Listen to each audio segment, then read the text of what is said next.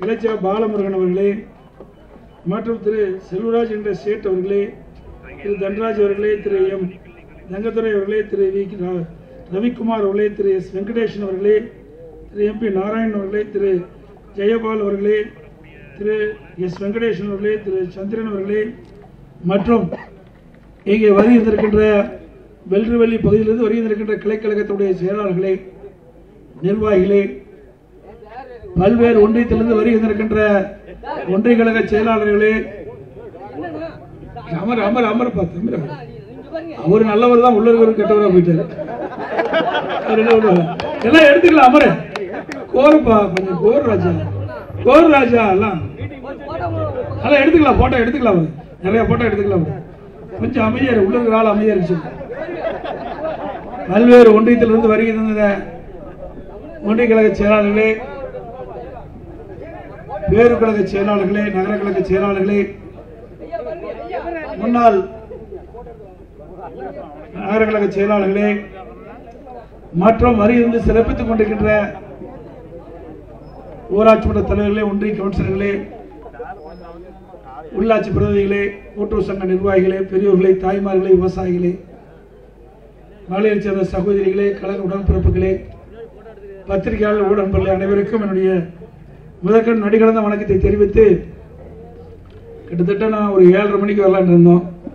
வர வர நேரம் ஆயிட்டுது அதனால் காலதாமதத்துக்கு வருத்தம் தெரிவித்துக் கொண்டு இன்றைக்கு அனைத்து இந்திய அண்ணா திராவிட முன்னேற்ற கழக ஆட்சியில் தான் நிறைய திட்டங்களை நாங்கள் நிறைவேற்றி தந்தோம். குறிப்பாக வெள்ளவெளி பகுதியில் நீங்கள் கேட்ட கோரிக்கை ஏறத்தாழ முழுவதும் நாங்கள் நிறைவேற்றி தந்திருக்கிறோம். இன்றைக்கு வெள்ளரிவெளி பகுதியில் பிரதான பகுதி விவசாயம் விவசாய தொழிலாளி. விவசாயி விவசாய தொழிலாளி. இரண்டு பேர் தான் பிரதான தொழிலா இருக்கிறது. அந்த இரண்டு நிலையிலும் இருக்கின்றவர்கள் வாழ்வதற்கு வழி தேடுவதற்கு வழி செய்து கொடுத்தது அதிமுக அரசாங்கம். இன்றைக்கு வெள்ளரிவெளி ஏரி இன்னைக்கு இந்த பகுதியில் பார்த்தீங்கன்னா அறுநூறு அடி எழுநூறு அடி போட்டால் தான் போரில் தண்ணி கிடைக்கும். அந்த நிலையில் இருந்த நிலையை மாற்றி அந்த வெள்ளரிவெளி ஏரி சுற்று வட்டார பகுதி முழுவதுமே நிலத்தடி நீர் உயர்வதற்காக அந்த ஏரியை கொண்டாந்து தண்ணீரை நிரப்பியது அண்ணா அரசு. இதனால விவசாயிகளுக்கு தேவை நீர் கிடைக்குது விவசாயம் செழிப்பாக இருக்குது விவசாய தொழிலாளிகளுக்கு வேலை கிடைக்குது இரண்டு வகையிலையும் நன்மை கிடைச்சது அதே போல நம்முடைய விவசாயிகள் இந்த பகுதியில் வறண்ட பகுதி. நம்முடைய எடப்பாடி ஒன்றியத்தில் வறண்ட பகுதி தான் அதிகம்.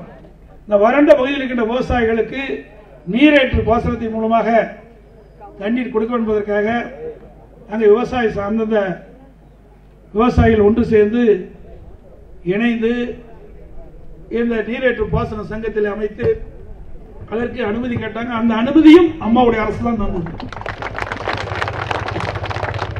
நம்முடைய பகுதிக்கு மட்டுமல்ல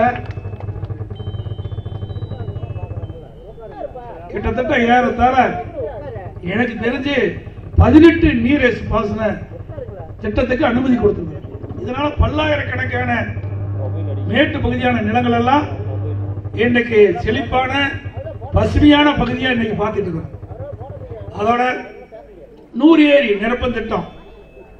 அந்த நூறு ஏரி வறண்ட ஏரிகள் நீர் நிரப்பு திட்டத்தை கொண்டு வந்து ஐநூத்தி அறுபத்தி ரெண்டு கோடி ரூபாயில திட்டத்தை துவக்கி முதற்கட்டமா ஆறு ஏரியை நிரப்பினதும் அதிமுக அரசு இன்னைக்கு இது வெடியா திராவிட முன்னேற்ற கழக அரசு அமைச்சு ரெண்டு வருஷம் ஆச்சு. அப்படியே கடப்புல போட்டாங்க அந்த திட்டத்தை அப்படியே கடப்புல கிடக்குது. ஆமா வேகத்தில் நடக்குது. நான் சட்டமன்றத்தில் பேசினா ஒரு மாசம் நடத்துவாங்க. வேலை செய்வாங்க மறுபடியும் போட்டுருவாங்க. மறுபடியும் சட்டமன்றம் கூடும்போது மறுபடியும் நான் சட்டமன்றத்தில் பேசினா மறுபடியும் அந்த பணி ஆரம்பிப்பாங்க. இப்படிப்பட்ட நிலைமை தான் ஏன்னா இதுல என்ன இவர்களுக்கு கஷ்டமே தெரியல. விவசாயிகள் எவ்வளவு கஷ்டப்பட்டு உழைக்கிறாங்க ரத்தத்தை வியர்வையாக மண்ணிலே சிந்தி இரவலன்றும் பகலென்றும் பாராம வெயிலும் மழையும் பொருட்படுத்தாம உழைக்கின்ற விவசாயிகள் விவசாய தொழிலாளிகள் அவர்கள் நலம் பெற வேண்டும் தான் இந்த திட்டத்தை கொண்டு வந்தோம். அது மேட்டூர் அணை நிரம்பி உபரி நீராக வெளியேறி போய் கடல்ல கலக்குது. அந்த நீரை தான் நாங்கள் நீரேற்று மூலமாக இந்த வறண்ட ஏரியில் நிரப்புறோம். அதையும் இந்த அரசாங்கம் முட்டுக்கட்டை போட்டுட்டு இருக்குது. அதோட நம்முடைய வெள்ளரிவெளி ஊராட்சியில் கொல்லப்பட்டியில் விவசாய அலுவலகம் கட்டி கொடுத்துருக்குறோம். தானிய சேமிப்பு கிடங்கு வெள்ளிவெளி ஏரிக்கு பக்கத்தில் கொடுத்துருக்குறோம். விவசாயிகள் உற்பத்தி செய்யப்பட்ட அந்த தானியத்தை எல்லாம் கொண்டு போய் வச்சு பத்திரமா வச்சுக்கலாம். அதில் பேங்கில் குறைஞ்ச வட்டியும் வாங்கிக்கலாம் அந்த பொருளை வச்சு. கால்நடை மருத்துவமனை வெள்ளிவெளியில் கேட்டீங்க. இங்கே விவசாயிகள் இன்றைக்கு அதிகமாக கால்நடை வளர்ப்பு இருக்குது. அந்த கால்நடை வளர்ப்பை ஊக்குவிக்கணுன்றதுக்காக அவர்களுக்கு ஏதாவது இந்த கால்நடைக்கு நோய் வாய்ப்பட்டால் அந்த கால்நடை மருத்துவமனைக்கு கொண்டு சென்று சிகிச்சை அளிக்க வேண்டும் அதற்கு வேணும்னு கேட்டீங்க அதுவும் கால்நடை மருந்தும் நான் கொடுத்துருக்குறோம். ஊராட்சி அலுவலகம் கேட்டீங்க அதையும் கொடுத்தாச்சு. அருகாலேயே அருமையான அம்மா பூங்கா அழகாக அம்மா பூங்கா கட்டி கொடுத்துருக்குறோம். திருமண மண்டபம் சமுதாய கூடம் கொடுத்துருக்குறோம். ஊராட்சியில் உள்ள அனைத்து குடிநீர் மேல்நிலை தொட்டிக்கும் கூட்டு குடித்திட்டமும் காவிரி நீர் நாங்கள் பல இடத்துல தேர்தல் போது போனேன்.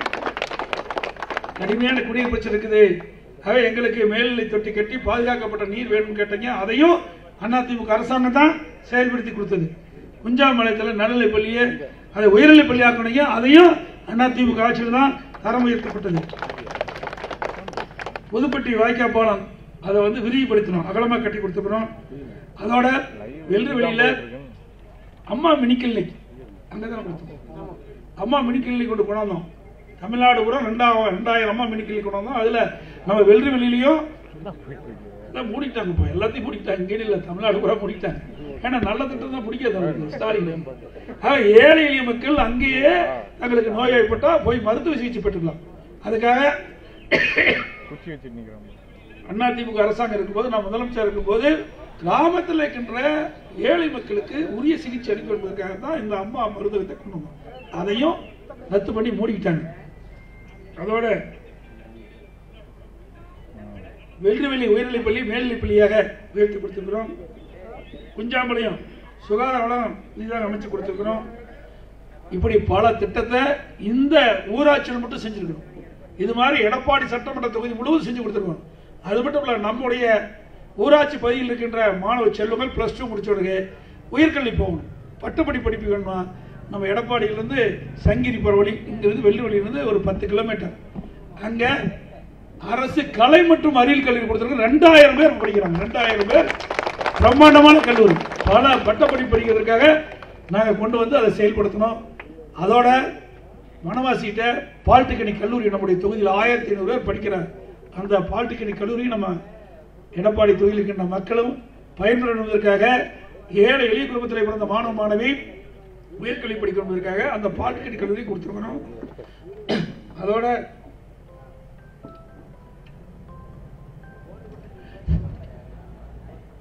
அரசு பள்ளியில் படிக்கின்ற மாணவர்களுக்கு மடிக்கணினி கொடுத்துருக்கணும் திரு ஸ்டாலின் ஆட்சிக்கு வந்த உடனே அதையும் ரத்து பண்ணிட்டார். ஏழை எளிய மாணவருக்கு செல்வங்க. இன்னைக்கு உயர்கல்வி படிக்க வேணும்னா தரமான கல்வி கிடைக்கணும்னா இன்றைய விஞ்ஞான உலகத்துல மடிக்கணினி தேவை. பன்னெண்டாயிரம் ரூபாய் எங்க போய் மடிக்கணினி வாங்கி கொடுப்பாங்க? ஏழை கொடுத்த மாணவனுக்கு. அன்றாட ஜீவனம் செய்ய பெரிய கஷ்டத்தில் இருக்கிறாங்க. இப்படிப்பட்ட நிலையிலே அடித்தட்டில் வாழ்கின்ற அந்த மக்களுடைய குழந்தைகள் உயர்கல்வி போவதற்கு வாய்ப்பு கிடைக்க வேண்டும். திறமையான மாணவன் உருவாக்குவதற்கு தான் மடிக்கணினி அம்மா கொடுத்தாங்க. அதை தொடர்ந்து அம்மா மறைவுக்கு பிறகு நான் கொடுத்தோம் 52 லட்சம் பேர் கொடுத்தோம். 52 லட்சம் பேருக்கு ஒரு மடிக்கணினி பன்னெண்டாயிரம் ரூபாய் அதையும் நிறுத்திட்டாங்க. நாளைக்கு தங்கம்.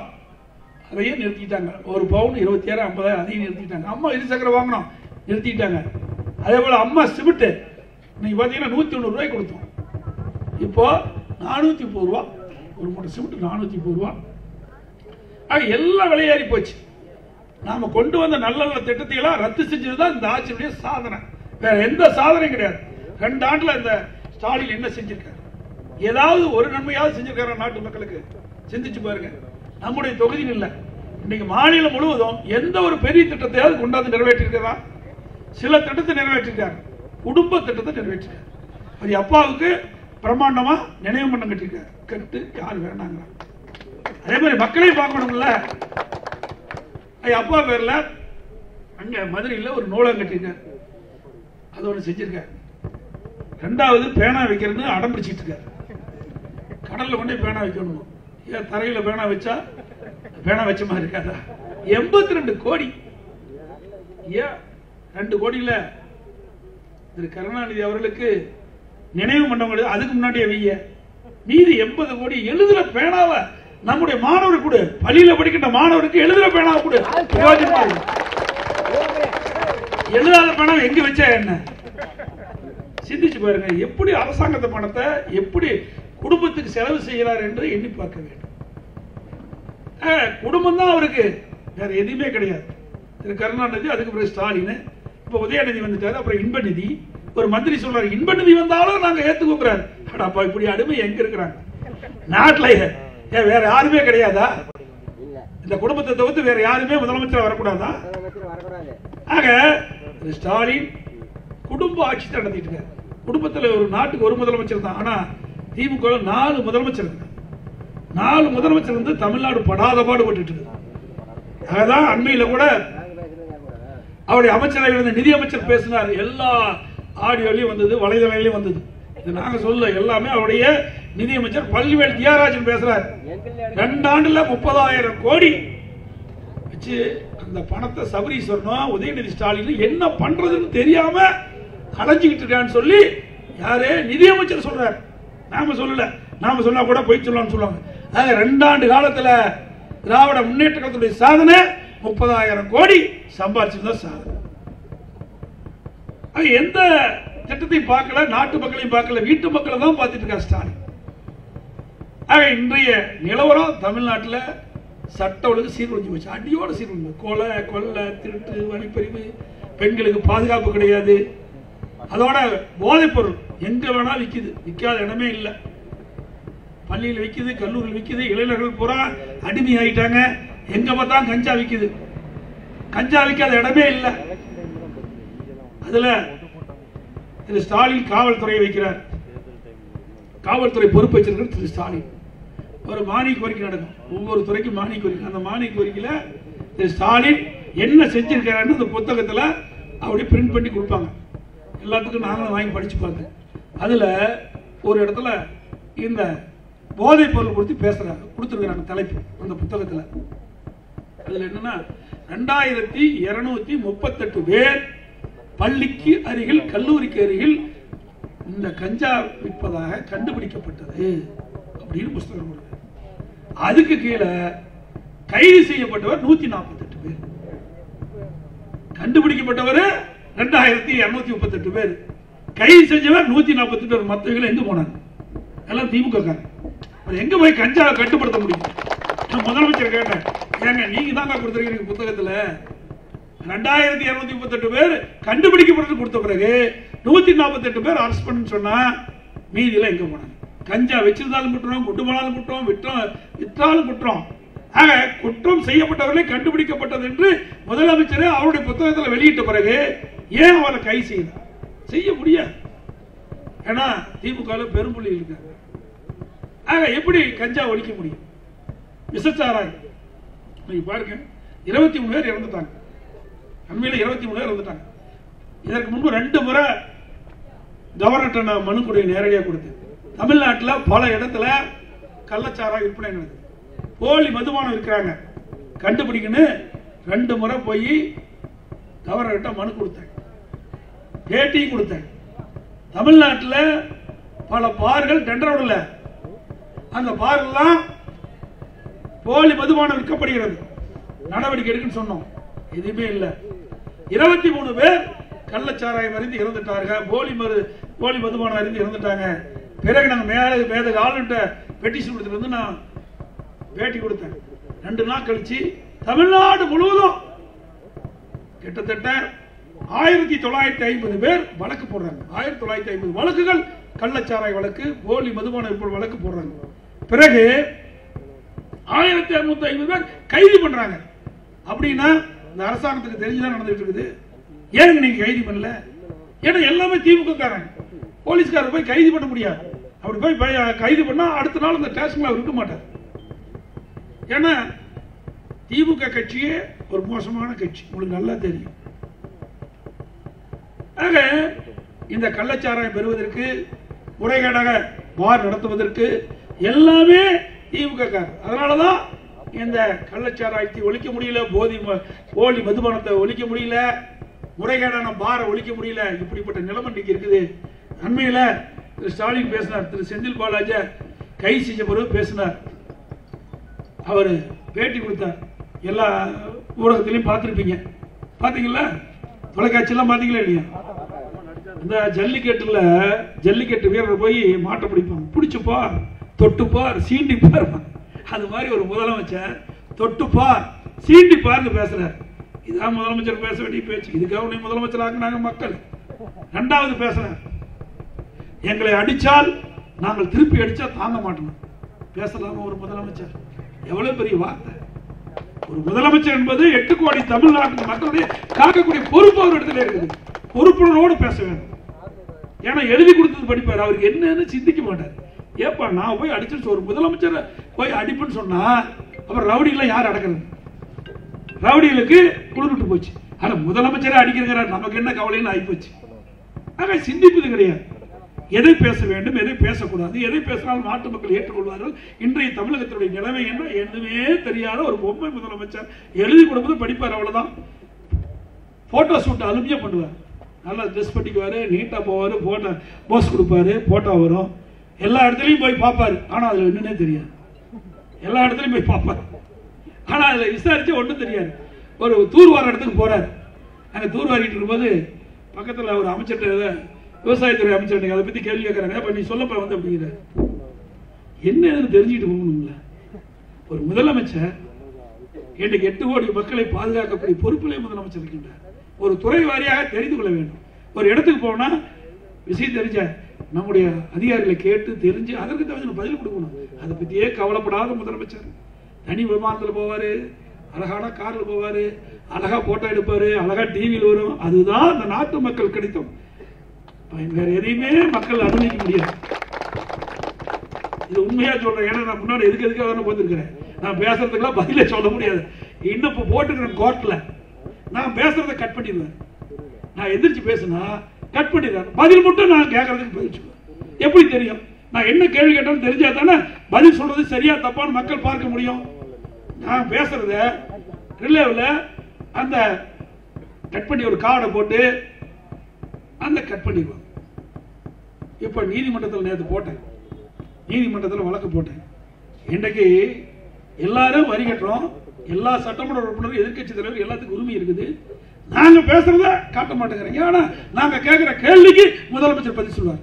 இந்த நாட்டு மக்கள் பார்க்க வேண்டாமான்னு சொன்னதையா நீதிமன்றம் வர நாலாம் தேதி மீண்டும் வழக்கு வருது அப்படி வழக்கு வருகின்ற பொழுது நிச்சயமாக எதிர்க்கட்சி தலைவர் பேசுவதையும் நேரடியாக சட்டமன்ற நிகழ்ச்சி ஒளிபரப்பப்பட வேண்டும் என்று அப்பதான் உனக்கு வண்டவாளம் தெரியும். நாட்டு மக்கள் நான் கேட்கிற கேள்வி என்ன நீ எப்படி பதில் சொல்றன்னு மக்கள் புரிஞ்சுக்குவாங்க. எல்லாமே பொய். அதுக்கு மீறி கேட்டா எடப்பாடி பழனிசாமி ஏதாவது கேஸ் இருக்குமா தொலைவங்கப்பா அப்படிங்கிறார். எனத்த தொலை என்ன பண்ண முடியும்? ஒன்றும் பண்ண முடியாது. நான் ஏற்கனவே உஸ்தாதா இருக்கேன். அதெல்லாம் என்னென்ன பண்ண எனக்கு தெரியும். அதே நேரில் நாங்கள் மீண்டும் அமைச்சரை வந்த பிறகு எத்தனாயிரம் கோடி நீங்க சம்பாரிச்சு வச்சிருக்கிறீங்க? எவ்வளவு சொத்து வாங்கி வச்சிருக்கிறீங்க? நானும் முதலமைச்சரா இருந்தேன். எனக்கு எல்லாம் தெரியும். ஆனா எனக்கு கொடுக்கப்படுகின்ற பொறுப்பு மக்களுக்கு சேவை செய்யணும். கிடைக்கின்ற பொறுப்பை சரியான முறையில் பயன்படுத்தி மக்களுக்கு உதவி செய்ய வேண்டும் என்பதற்காக என்னை முதலமைச்சர் ஆக்கினாங்க பழி வாங்கணும். குடும்பத்தில் கொள்ளையடிப்பதற்காக நீ முதலமைச்சராக இருக்கிற. உங்களுக்கு எங்களுக்கு அதுதான் வித்தியாசம். ஏன்னா நான் சாதாரண விவசாயி. கஷ்டப்பட்டு உழைச்சி படிப்புல கிளை செயலாளர் வந்து ஒன்றிய பொறுப்பு மாவட்ட பொறுப்பு மாநில பொறுப்பு எம்எல்ஏ எம்பி அப்புறம் அமைச்சர் அப்புறம் முதலமைச்சர். அதே போல கட்சியிலேயே அமைப்பு செயலாளர் கொல்லிபுரம் செயலாளர் அப்புறம் தான் இன்றைய தினம் அனைத்து இந்திய அண்ணா திராவிட முன்னேற்ற கழகத்துடைய பொன்மனச்சம்பல் புரட்சி தலைவர் எம்ஜிஆர் தோற்று வைத்த இயக்கம் அம்மா கட்டி அந்த இயக்கத்துக்கு பொதுச் செயலாளர் வந்திருக்க ஸ்டாலின் அவர்களே ஒரு சாதாரண குடும்பத்தில் பிறந்தவர். ஒரு உச்சநிலைக்கு வர வேண்டும் என்று சொன்னால் எவ்வளவு கஷ்டப்பட வேண்டும் என்பது கஷ்டப்பட்டவருக்கு தான் தெரியும். நிழலுடைய அருமை வெயில்ல போனா வெயிலுடைய அருமை நிழலுக்கு போனா தான் தெரியும். ஆக நீ அப்படி அல்ல. உங்க அப்பா முதலமைச்சராக இருந்தாரு உங்க அப்பா கட்சி தலைவராக இருந்தாரு. நீயும் 89 எம்எல்ஏ நானும் 89 எம்எல்ஏ. எந்த கஷ்டத்தையும் அனுபவிக்கல. நாட்டு மக்களோட பழகல.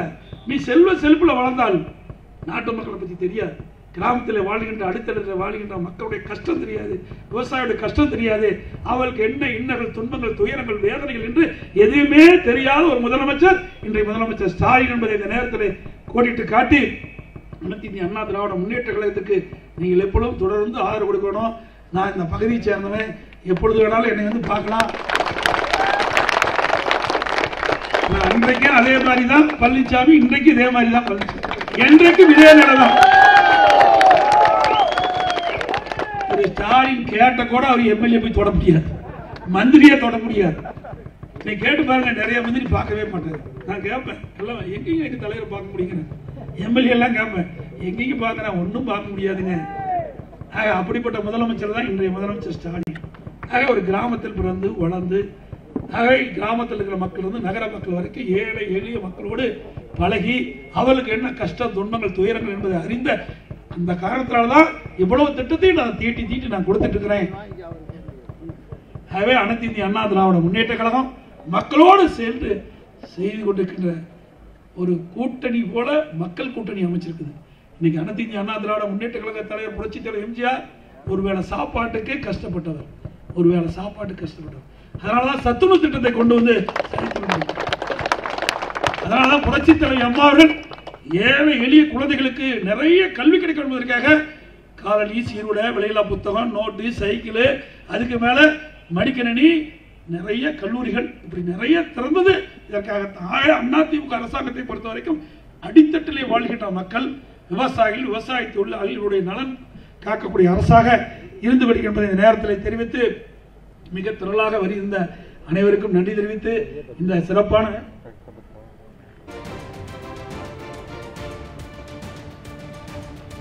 அதே போல குஞ்சாம்பாளையத்திலும் சுகாதார வளாகம் ஒன்று கண்டுபிடிச்சாச்சா? இப்போ சாங்ஷன் ஆகிடுது இன்னும் நிறைய திட்டங்களை கொண்டு வந்திருப்போம். அதுக்குள்ளேயே ஆட்சி மாற்றம் ஏற்பட்டு போச்சு. அடுத்த தடவை நிச்சயமா உங்களுடைய ஆதரவோடு அதிமுக ஆட்சி வரும். யாரையும் கேட்க வேண்டியதில்லை. பேப்பர்ல எழுதி கொடுத்தா போதும். அப்படியே நிறைவேற்றப்படும். அதெல்லாம் இவ்வளவு திட்டத்தை நிறைவேற்றிக்கிறோம் இவ்வளவு திட்டத்தை நான் நிறைவேற்றிருக்கிறோம் நம்முடைய மாவட்டம் மட்டும் இல்ல நம்முடைய தொகுதி மட்டும் இல்ல இருநூத்தி முப்பத்தி நாலு தொகுதியிலையும் எல்லா திட்டத்தையும் நிறைவேற்றி எல்லாம் எனக்கு மனப்பாடமா தெரியும். எங்க இடத்துல போனாலும் என்ன செஞ்சேன் என்பதை நேரடி பார்வையில நானே சாங்ஷன் செஞ்சு திட்டத்தை கொண்டாந்துருக்கிறேன். எனவே மீண்டும் அனைத்தின் அண்ணா திராவிட முன்னேற்ற ஆட்சி வருவதற்கு நீங்க துணை நிற்க வேண்டும். உங்களோடு நான் இருக்கின்றேன். எப்பொழுதும் உங்களோடு பயணிப்பேன். உங்களோடு இருக்கின்ற ஒருவருக்கு மீண்டும் ஒரு வாய்ப்பை தாருங்கள் என்று சொல்லி சிறப்பான ஏற்பாடு செய்து சிறப்பான கொடியேற்ற விழா நிகழ்ச்சி ஏற்பாடு செய்த அனைவருக்கும் நன்றி.